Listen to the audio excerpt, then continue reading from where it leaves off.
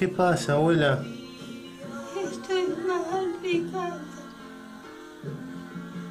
No tengo fuerza para nada. Tenés que comer algo, ahí traje comida. Es que los huesos, los huesos no me dan. Traje plata para llevarte en auto, abuela.